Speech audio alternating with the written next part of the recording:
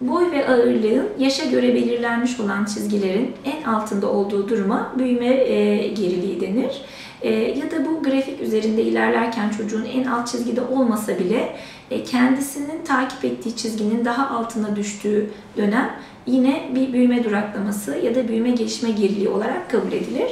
E, buna göre çocuğun değerlendirilmesi gerekir.